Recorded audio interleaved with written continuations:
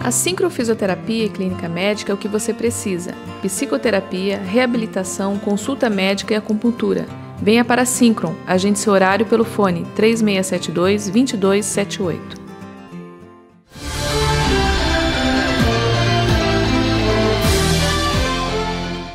O incêndio em uma vegetação na rodovia BR-116, próximo ao quilômetro 359, mobilizou os bombeiros voluntários de TAPES. Segundo informações, uma árvore teria batido em uma rede de alta tensão, provocando o um incêndio. Durante o combate às chamas, os bombeiros foram acionados, em virtude de um acidente sobre a pista.